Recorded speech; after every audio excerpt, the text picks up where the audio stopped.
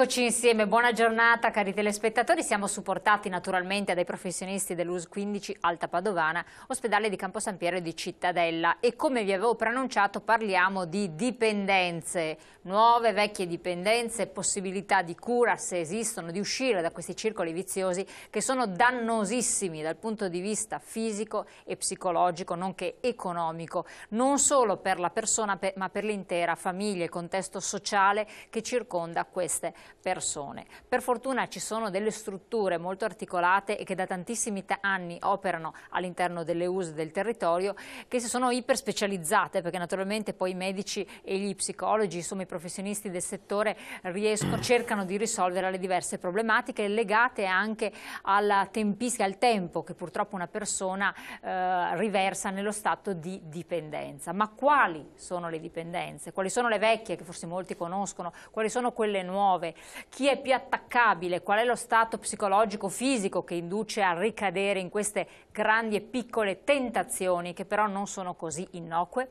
La risposta ai nostri ospiti. Siamo in diretta, ve lo ricordo, potete intervenire, potete telefonare, mandare i vostri messaggi oppure come sempre dalle 9 alle 13 ogni giorno chiamare, meglio di tutto addirittura l'URP eh, per avere informazioni dirette, che è servizio naturalmente del, della struttura dell'US 15. Allora, Giorgio Cu Cuccia, direttore del CERT dell'US 15, tra l'altro psicologo, ben arrivato qui con noi, dottore, grazie. grazie. Buongiorno a lei. E ben arrivato anche al dottor Baldo Durano, che è medico del CERT di Campo San Piero. Grazie Buongiorno, anche a lei. Grazie a voi. Allora, incominciamo, Beh, mm, mi dica lei direttore, cominciamo così a inquadrare un po' in generale eh, il Dipartimento delle Dipendenze, come è strutturato e come funziona. Sì, Beh, anche nella nostra azienda, come nelle altre USL, del Veneto esiste un dipartimento funzionale per le dipendenze che comprende i servizi del pubblico e del privato che si occupano di questo tema. Nel, nella nostra realtà, non essendoci comunità terapeutiche, e soprattutto il CERT con le sue due sedi di Cittadella e di Campo San Piero, a interessarsi prevalentemente di, da questo fenomeno delle dipendenze assieme al volontariato, alle associazioni per dire degli alcolisti, ACAT, Anonimi, Villaggio della Speranza, che, che esistono nella nostra realtà ecco, e, e, anche con alcune comunità alloggio che in qualche modo sono coinvolte su questa problematica. Ecco. E dicevo, sono due, due uni, un'unità operativa per le tossicodipendenze che comprende due CERT, di fatto, due, due equip diciamo, complesse multidisciplinari che operano una nel distretto di Campo San Piero appunto, e l'altra nel distretto di Cittadella. E gli operatori, come dicevo, sono oltre che medici e psicologi che lei ha citato prima, ci sono le assistenti sociali. Che hanno un ruolo importantissimo proprio. Certamente, e gli educatori professionali oltre agli amministrativi, e gli infermieri, non dimentichiamoli che anche quelli hanno un ruolo molto molto importante. Quindi tutto il personale che ruota attorno a questa struttura, quante, quante, persone sono in tutto? Beh, sono diciamo 26, ecco, tra Abbastanza. le due sedi, insomma, ecco, divise tra le due sedi. Cosa fate? Perché ehm, per, per chi ne è al di fuori, a volte avvicinare il CERT eh, mette un po' così di mm. ansia mm. proprio perché non capisce come funziona e che tipo di aiuto poi può dare. Eh, poi vi sentiremo anche dal dottore chi, chi riuscite a, ad aiutare e in che mm. termini si rivolge. Beh, eh, certamente diciamo così, varcare le, le porte del CERT eh, può dare un po' di ansia, no? ecco, ma dipende ovviamente dalla persona, perché ci sono persone... E a che punto è arrivato? Esatto, dipende appunto da questi fattori perché tra l'altro non dimentichiamo che al CERT accedono tanti, tante persone con problemi di dipendenza, magari non così eh, drammatici come, come, come è d'uso considerarli, ecco. pensiamo ai tabagisti, alle persone che vogliono smettere di fumare, ai giocatori d'azzardo, ecco. oltre che agli alcolisti, ai tossicodipendenti. Eh ma pensiamo anche agli insegnanti che vengono a chiederci informazioni su come intervenire a scuola con i loro allievi, eccetera, mm, e altri amministratori, parroci, insomma, quindi voglio dire, non necessariamente è un luogo esclusivo per persone così, diciamo, emarginate, ecco, ma è una, è una, struttura che accoglie tutti coloro che in qualche modo hanno bisogno o di trattamenti o di informazioni o di un aiuto, di una consulenza ecco, su questa tematica che, ripeto, è abbastanza ampia, appunto. Vecchie e nuove dipendenze ne abbiamo, abbiamo molte. Insomma. Quindi recarsi a CERT, qualora una persona volesse darsi una mano, dare una mano a un familiare per avere un consulto è importante a questo punto, cioè non certo. c'è da aver timore, ma è meglio eh, chiedere un, un aiuto in più che piuttosto da rivolgersi troppo tardi. Certo, certo. Questo è un problema che va affrontato possibilmente precocemente. Ecco. Ed è, tra l'altro questo è proprio l'obiettivo anche dei servizi ultimamente, quella di, di, di intercettare diciamo, precocemente eh, i ragazzi in questo caso che iniziano, che hanno problemi con eh, con le sostanze.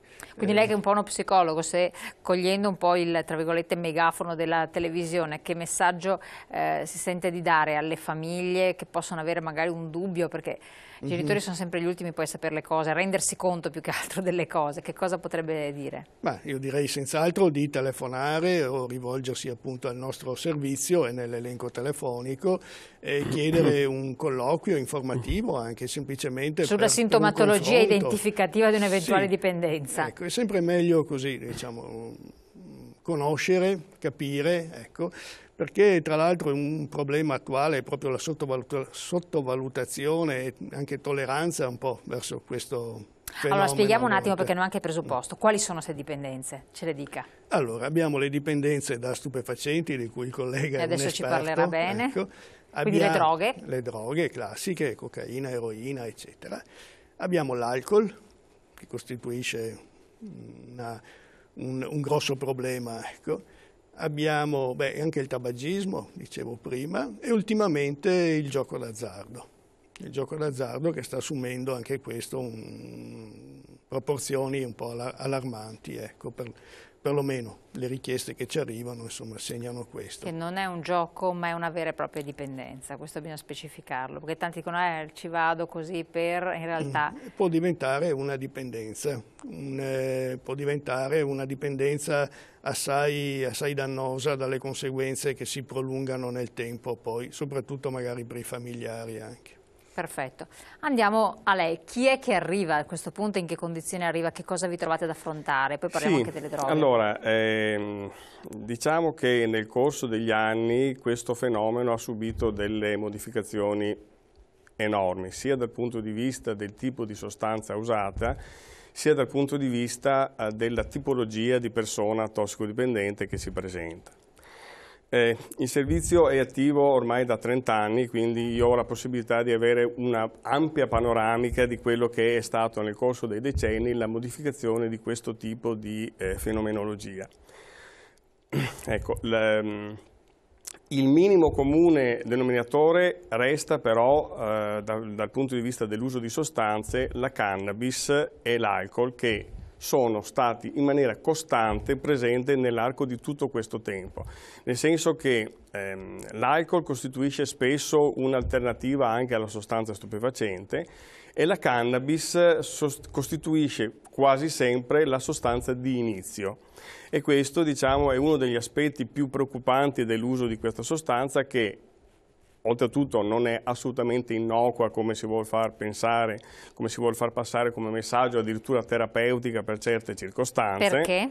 Perché in effetti eh, costituisce una delle sostanze eh, più dannose specialmente se sottoposte ad abuso e in età giovanile, sugli aspetti cognitivi, cioè fa male al cervello, diciamolo in maniera eh, chiara, oltre alla possibilità di produrre anche altri tipi di problemi tipo l'aggravamento di un'epatite in, in eh, persone già affette da questa patologia, patologie respiratorie, patologie cardiocircolatorie, tumorali, insomma tutto quello che è connesso al fumo in generale ma in particolare il problema del disturbo di tipo cognitivo. Cosa vuol dire in parole molto semplici? In, in parole molto semplici è una perdita delle, di alcune facoltà mentali che cominciano prima con la perdita della, della memoria e poi via via con uno stato di abulia, di disinteresse, di perdita di capacità di applicazione, di attenzione che porta a uno scadimento delle, delle facoltà mentali. Non dico proprio una vera e propria demenza,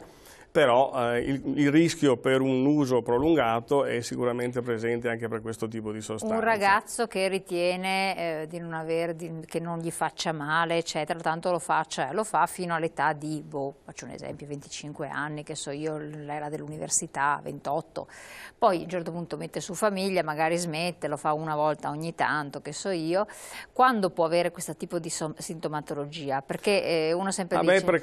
Cioè, eh, voglio dire, è, è correlata alla, è proporzionale alla quantità comunque di sostanza utilizzata. Questo vale per qualunque tipo certo. di sostanza, nel senso tanta cannabis danno più grave, tanto alcol danno no, più grave, ecco, quindi eh, questo tipo di disturbo si presenta progressivamente nel corso del tempo. Ecco.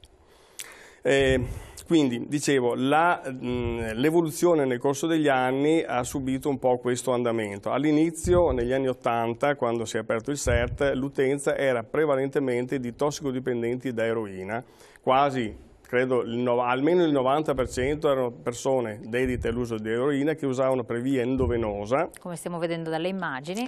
Ecco, usavano previa endovenosa eh, spesso associato all'abuso anche di benzodiazepine ed alcol e diciamo che per i primi dieci anni il nostro pane quotidiano erano persone per lo più giovani adulti, diciamo l'età media era intorno ai 25 anni, così con, mm, con un andamento da, di, dai 20 ai 30, questa era la fascia di età più, eh, più prevalente. E si trattava mh, mm, mm, prevalentemente di tossicodipendenti, diciamo, vecchio stampo, eh, così persone un po' sbandate, senza riferimenti familiari, senza lavoro, eh, che dal punto di vista così anche psicopatologico presentavano prevalentemente condizioni di stati d'ansia o di depressione o disturbi di tipo antisociale. Dopodiché, dagli anni 90, la lo scenario è radicalmente cambiato e il, eh, questo cambio radicale è stato prodotto dall'avvento dell'AIDS. L'AIDS che sappiamo è una malattia che adesso fortunatamente si può controllare con le terapie per cui non ha più quell'aspetto così di eh, sterminio che c'è stato inizialmente, anche se effettivamente io nei primi anni ho perso tantissimi pazienti. Addirittura? Eh sì, ne abbiamo persi tanti purtroppo perché l'incidenza era molto alta, adesso si è decisamente abbassata, però mh, mm, almeno un 20-30% di tossicodipendenti hanno contratto l'infezione e di questi prima dell'avvento delle terapie purtroppo ne sono, ne sono morti molti, insomma, ecco. Diciamo che l'arrivo dell'AIDS ha eh, diciamo, stigmatizzato e messo da parte almeno temporaneamente l'uso della siringa per cui si è cominciato a utilizzare altre modalità di assunzione di queste droghe, di eroina, di cocaina, più o fumandole o sniffandole e c'è stato il boom delle droghe sintetiche, quindi mm. dell'ecstasy, della chetamina, degli allucinogeni. Che continua. Porta, prego? Che continua tra i giovani. Ah sì sì, sì sì, ma infatti adesso arriviamo a quella che è la, la, la situazione attuale in cui diciamo in questi anni c'è stato più un uso più che problematico cioè di, in situazioni di problematicità personale, più un uso ricreativo, diciamo mm. così, divertimento, eh, di divertimento, esattamente il boom delle discoteche dove ci si faceva, di stra, strafaceva di tutto e questo è stato l'inizio di quella che poi è la condizione attuale del poliabuso, cioè mentre negli anni 80 c'erano eroinomani, cocainomani, alcolisti, eh, cannabinoidisti, adesso invece questo, questa distinzione così netta non c'è più, tranne per magari qualche vecchio nostalgico che rimane appiccicato alla sua sostanza eh, preferita, però attualmente l'uso è molteplice, quindi il, mercato è molto modificato nel senso che una delle poche cose che costa meno eh, rispetto a 20 anni fa adesso è la droga in effetti, mentre una volta per eh, drogarsi erano necessarie, specialmente per la cocaina, cifre importanti, adesso con 10-20 euro uno la bustina se la compra e quindi è purtroppo un po' alla portata di tutti. Perfetto. Quindi, Io la interrompo un attimo perché andiamo sì. in pubblicità così il discorso lo riprendiamo bene e poi rivediamo anche perché il ricorso all'eroina è ritornato anche in modo importante, che è altrettanto certo. da capire. Eh, pubblicità, poi torniamo ancora con voi.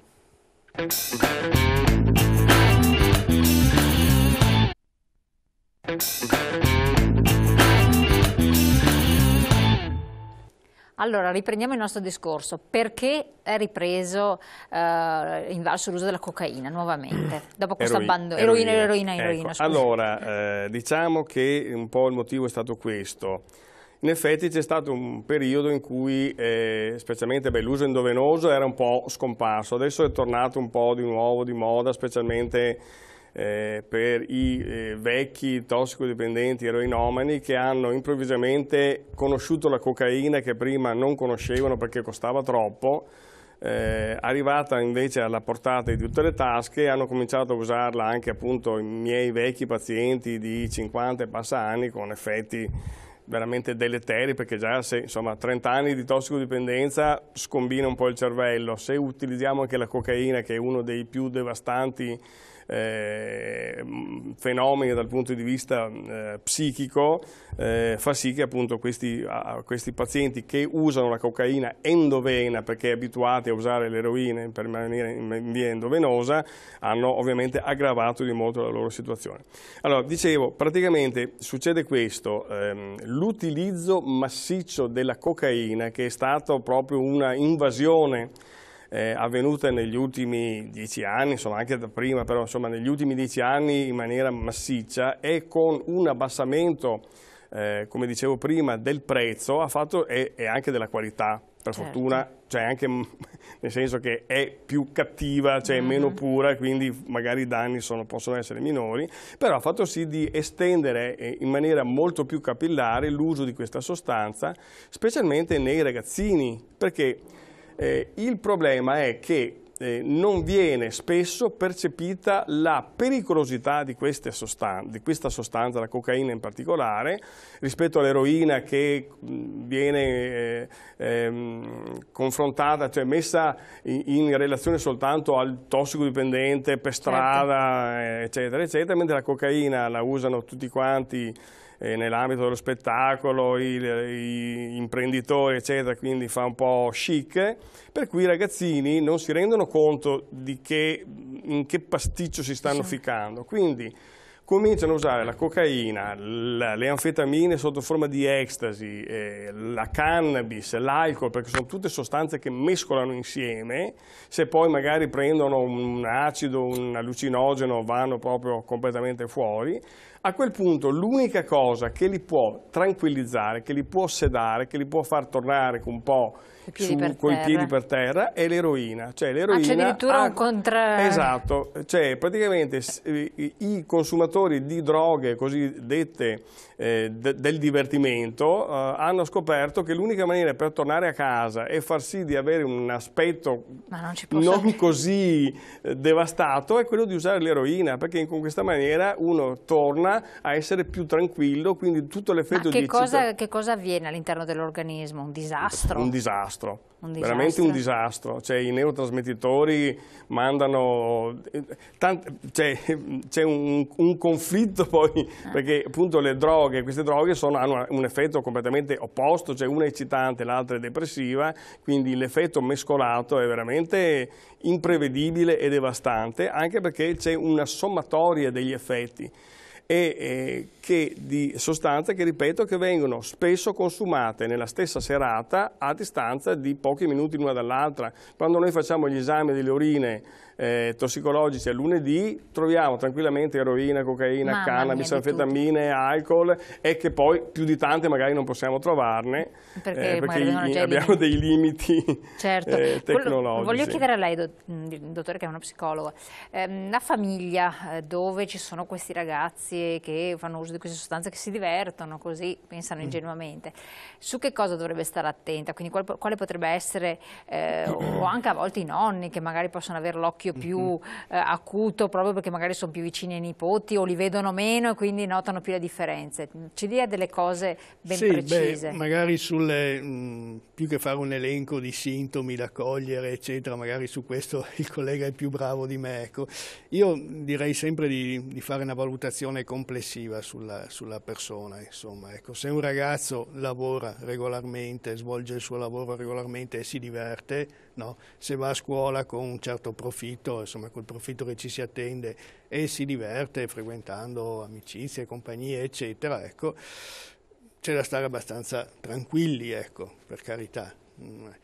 Se invece ci sono, perché l'uso di, di sostanze poi dopo crea un certo disadattamento, un, un certo disagio che, che si manifesta nei comportamenti a casa, a scuola, nel lavoro, eccetera. Ecco. Quindi il richiudersi, il, il, saltare il lavoro, la scuola o, la, o, i compiti di, di, scuola, eccetera, il frequentare, il rientrare tardi, il dormire la mattina presto e non alzarsi, eccetera. Questi sono poi segnali che vanno eh, colti, ecco, che vanno colti affrontando il problema col ragazzo ovviamente, parlandone. Ecco.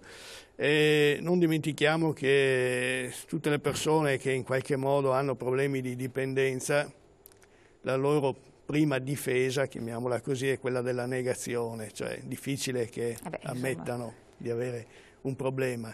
Però molto spesso capita, e ci è capitato molto spesso, che i segnali di aiuto magari che i ragazzi danno arrivino in, in, in forma eh, indiretta, mascherata. Era un classico negli anni passati per dire la siringa dimenticata, fatalità a casa, che in realtà era un segnale un po' inconscio per chiedere aiuto. Ecco.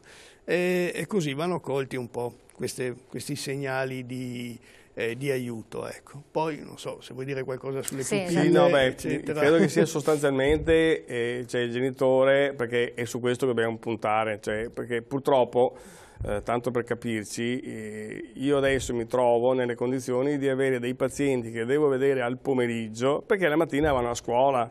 Ah, cioè, è una cosa drammatica questa, che io debba vedere dei ragazzini che vanno ancora a scuola perché devo disintossicarli dall'eroina o dalla cocaina, cioè è una cosa veramente tragica, cosa che vent'anni fa non succedeva. Allora, eh, sì, eh, credo che sia importante appunto quello di vedere segnali nel cambiamento dell'atteggiarsi, del comportamento delle persone che frequentano, degli orari, dei soldi che spendono, più che stare lì a fare dei controlli di tipo poliziesco che non servono assolutamente a nulla. Tipo, si è sentito, c'era chi voleva fare a tappeto gli esami delle urine a tutti i ragazzini a scuola, cioè, insomma, questa qui sono cose che fanno i nazisti, non facciamo. Beh, non insomma, in America lo fanno. Eh, esatto, infatti so che questi controlli li fanno. Sì, però i fidi conti... Però, bisogna anche farli bene perché ci sono 101.000 modi per, per imbrogliare. Per, esatto, per imbrogliare e infatti esatto, che quelli ecco. sono senza dubbio... Vabbè, guardi, eh, i, i, trucchi anche al CERT non mancano. Eh, Addirittura noi, chi va al CERT. Sì, oh, madonna mia. Noi, noi abbiamo, faccia conto, per dire le telecamere nei bagni per controllare che effettivamente i prelievi coincidano con, eh, eh, con la persona, insomma, ecco, i prelievi eh. che facciamo. Sì, però ecco, teniamo conto che alcuni vengono di loro spontanea volontà e quindi anche motivati a fare un percorso, altri vengono in qualche modo eh, un po' costretti o dai familiari eh, o dalle Dalla forze dell'ordine, problemi di patente o problemi di alternativa al carcere o di, insomma abbiamo tante situazioni in cui i, i motivi per imbrogliare ci Sarebbe. sono. Ecco, mm, volevo chiedere anche questo, abbiamo visto anche un'immagine di una sala da gioco, non abbiamo accennato al gioco che comunque è una dipendenza preoccupante. Mm. Anche magari chiedo anche a lei, sì, perché sì. si sottovaluta, in realtà poi sono state fatte anche delle campagne di sensibilizzazione e tutto perché mm. porta sull'astrico le persone. Sì, sì. Guardi, è un problema di cui ci stiamo occupando abbastanza recentemente, ecco, un problema sorto a mio avviso, cioè, forse c'è sempre stato, eh, per carità, i casinò ci sono sempre stati, i cavalli, le scommesse, eccetera, però eh, il problema eh, si è ampliato notevolmente proprio per la, diciamo, chiamiamola rapidità del risultato e per la disponibilità dei luoghi. Intendo dire che eh, mentre una volta tra la scommessa o la, il biglietto della lotteria o, eh, e il risultato poi la, eh, intercorreva un certo tempo, Adesso con le slot machine, eh, con, eh, con, le macchine gratta e vinci, eccetera, si ha una risposta immediata. Ecco, e la si ritrova poi sotto casa, nel tabaccaio, nel bar, eh, accanto a casa. Questa risposta immediata spinge la persona a reinvestire, a rifarsi questo è il meccanismo poi che porta al gioco compulsivo, il volersi rifare della perdita e nel caso della vincita il reinvestire la vincita nel, nel gioco. Ecco. Questo crea veramente problemi senza che la persona se ne accorga. Molto spesso le dipendenze colpiscono la persona eh, sia l'alcol sia le altre sostanze, magari così facendo una sperimentazione eh, senza certo. che se ne accorga, magari ecco, piano, piano, piano, piano ecco, che si diventa dipendenti. Nel caso dei giocatori, alcuni mi raccontano che, insomma, che si ritrovano a passare ore davanti, lì piegati davanti alla macchinetta, al videopoker, quello che è, a, a inserire denaro e a trascorrere l'intera giornata dimenticandosi di tutti gli impegni, di tutti gli affetti, eccetera, che, che hanno. Ecco. Questa è una, una, vera e propria dipendenza, ecco. anche se non c'è una sostanza, come nel caso dell'alcol, non c'è una sostanza chimica come però scatta a livello uh, neurologico un meccanismo sì, infatti, biochimico. volevo eh. appunto uh, sottolineare questa cosa qui, che in effetti le aree del cervello che sono coinvolte nel problema della dipendenza sono le stesse, qualunque eh, tipo di questo... dipendenza sia. Tant'è che poi, eh, se, andando un po' a fondo con i nostri pazienti, scopriamo che magari uno smette con l'eroina e comincia a bere, quindi passa dal, dall'eroina all'alcol, poi magari smette con l'alcol e scopriamo che passa le giornate alle macchinette oppure resta fino a, alle 5 di mattina attaccato a internet. O... Eh, c'era stato uno studio mm, che è stato pubblicato anche in una nota rivista scientifica che parlava di queste dipendenze, di quasi fattori di familiarità il che portava l'accento su eh, problemi di carattere, eh, diciamo così, anche genetico in certe persone, di debolezze Sicuramente ci sono delle predisposizioni di tipo genetico, nel eh. senso che, voglio dire, ci sono... Soprattutto all'alcol era stato riscontrato. Ma un po' per tutto, sa, un, po', mm. un po' per tutte le cose, cioè c'è una predisposizione in qualche modo alle dipendenze alla dipendenza uh, su, um, per, certi, per, certe persone eh, cosa che spiega il fatto di come mai su tutti quelli che hanno provato qualche cosa, e credo che insomma eh, l'uso magari anche de, o dell'alcol, di qualche droga o di qualche gioco, insomma sia un'esperienza un comune di, non dico il 100% della popolazione, ma insomma quasi, però solo una piccola parte, una piccola fetta di questi diventa effettivamente dipendente e non soltanto quelli che hanno una famiglia disgraziata alle spalle, perché ovviamente no, se uno ha alle spalle una, una, famiglia disagiata, con magari il padre alcolista, la madre psicotica, uno, ecco, però la maggior parte di casi che noi vediamo hanno delle famiglie in apparenza assolutamente normali, dove c'è un meccanismo di rapporti magari disfunzionali un po' eh, complessi, però non quello sfascio che magari c'era tanti anni fa. Ecco.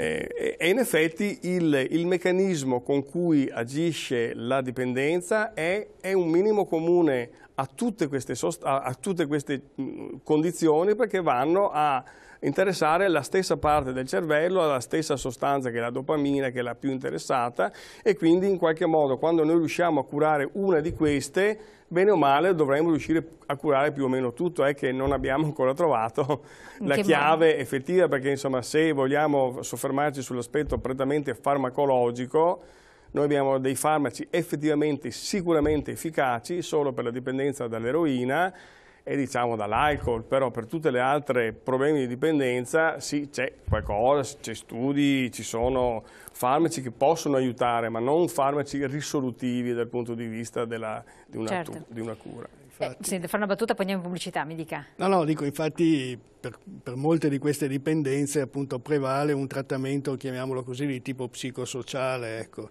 Mi riferisco soprattutto all'alcol, eh, infatti adesso gioco. affrontiamo anche il capitolo dell'alcol eh. che è altrettanto importante perché poi è altrettanto diffuso in certe parti d'Italia, addirittura eh, ai bambini, poco meno che bambini, abbiamo visto delle 8 anni, addirittura 8-10 anni. Eh, pubblicità, poi torniamo insieme.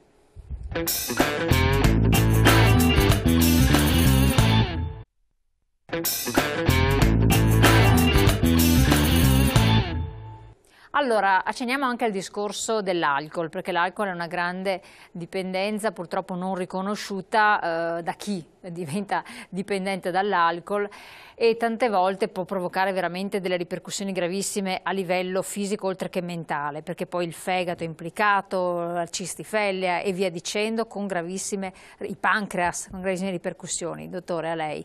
Sì, beh, eh, l'alcol è sicuramente una delle sostanze più sottovalutate, eh, probabilmente proprio per l'aspetto di accettazione culturale che c'è specialmente dalle nostre parti, insomma il nord Italia, ma specialmente il nord-est, c'è una cultura del vino eh, dove eh, l'abitudine all'uso di questa sostanza comincia spesso in, in età molto tenera, eh, senza rendersi conto che almeno fino ai 14-15 anni il nostro organismo non è in grado di metabolizzare adeguatamente l'alcol, quindi prima dei 14-15 anni bisognerebbe assolutamente evitarlo in una maniera più totale.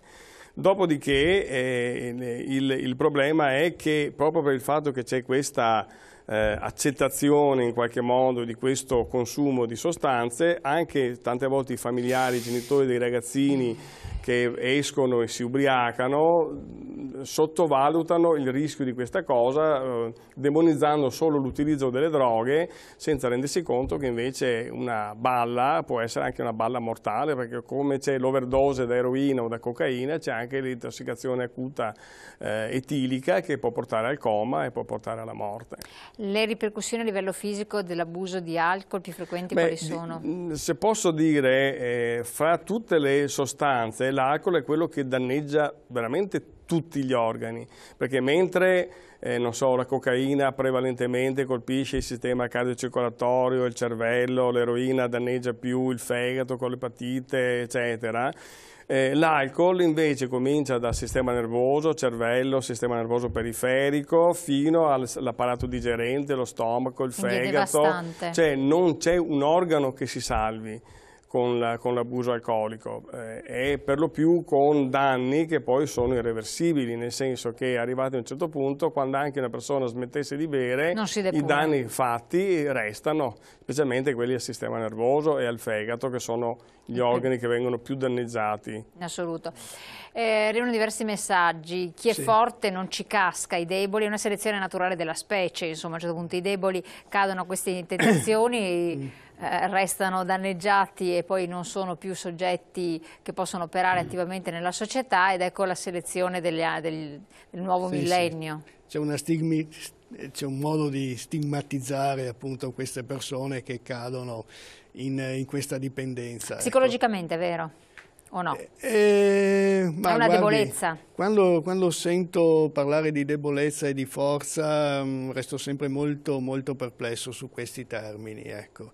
perché lo dicevamo, lo ricordavamo prima, questo è un problema che può cogliere chiunque. Certamente è stato detto ci sono dei fattori predisponenti, delle situazioni personali che possono facilitare. Ecco. Verso l'alcol noi abbiamo tante tipologie di, di abusatori. Ecco. Ehm, però, però, questo è un problema che può, ripeto, toccare chiunque, ecco. anche chi si crede forte, in grado di controllare, eccetera. Ecco. Gli unici, posso dirlo, che non corrono questo rischio sono gli astemi. Chi non consuma alcol di sicuro non avrà problemi d'alcol, forse ne avrà degli altri, ma non quelli d'alcol. Tutti gli altri che pensano anche di, di, di, limitarsi a un bicchiere, due, quello che è, insomma, eh, non sono al sicuro, corrono un rischio. Mm, ecco, perché dipende da tanti fattori, poi anche gli effetti dell'alcol in fondo, prima si parlava di quantità, no?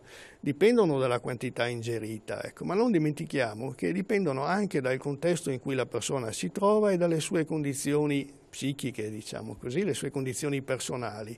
Voglio dire, se una persona ha bevuto due, un bicchiere di vino, o due bicchieri di vino, mettiamo così, ecco, che sono proprio il limite per non incorrere poi nel problema della guida, eccetera, ecco, per una persona perlomeno certo. normale, di, di, peso normale.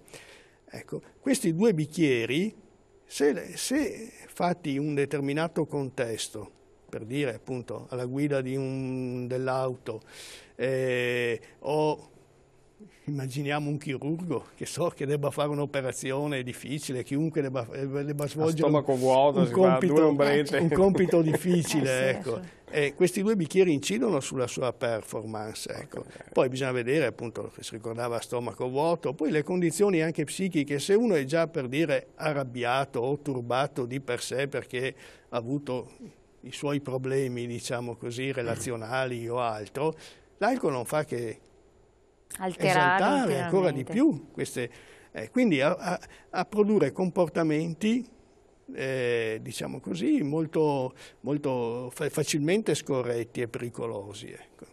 Quindi, Quindi questo... al di là della sostanza, al di là della quantità, dico, ecco, è sempre un rischio. Ripeto, il contesto, chi, il contesto non, è fondamentale. Chi non, corre, chi non corre rischi sono certo. gli astemi. Eh, alcuni messaggi parlano di sistema sanzionatorio, vuoi di carattere economico, vuoi di carattere eh, fiscale, vuoi di qualsiasi carattere. Serve in questo come deterrente? Come... Questa è una domanda molto difficile. La domanda nel delle senso Che, no, nel senso che eh, eh, io vedo che per esempio in... adesso mamma mia, non vorrei... Eh, allora, da un lato eh, la prevenzione ci dice che è meglio puntare sugli aspetti positivi e non sugli aspetti negativi, cioè eh, se non bevi, se non ti droghi, hai dei vantaggi e ti fa bene piuttosto che dire guarda che se ti droghi e che bevi starai male, perché questo è un messaggio che non fa, che non fa presa. D'altra parte, sicuramente alcuni aspetti sanzionatori hanno un'importanza fondamentale.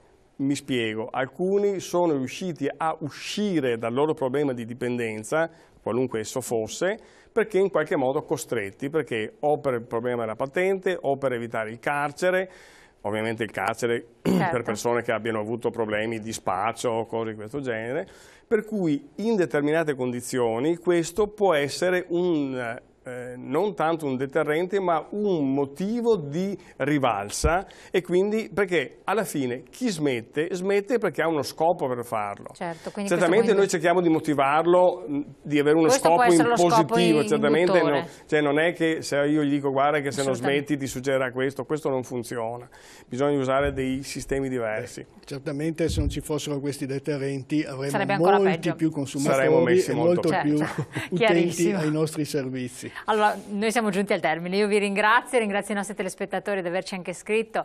Eh, quindi avete visto, esiste questo servizio che è non solo di aiuto effettivo sul territorio, abbiamo parlato del CERT, dell'USL 15, tanto a Campo San Piero quanto a Cittadella, ma anche di informazione. Quindi se avete dei dubbi, avete eh, dei sospetti insomma, in famiglia o di persone per avere delle eh, delucidazioni, delle informazioni, è molto importante rivolgersi agli esperti. Tanto appunto abbiamo visto i medici per curare poi le patologie che insorgono perché si tratta di problemi molto gravi anche alla salute quanto dal punto di vista psicologico e poi tutto il comparto che naturalmente è estremamente articolato. Grazie a voi, come sempre ci ritroviamo martedì prossimo con l'appuntamento in diretta con l'US 15, questa sera US 15 in forma e poi naturalmente alle 21 la diretta di politica e attualità. Io vi aspetto.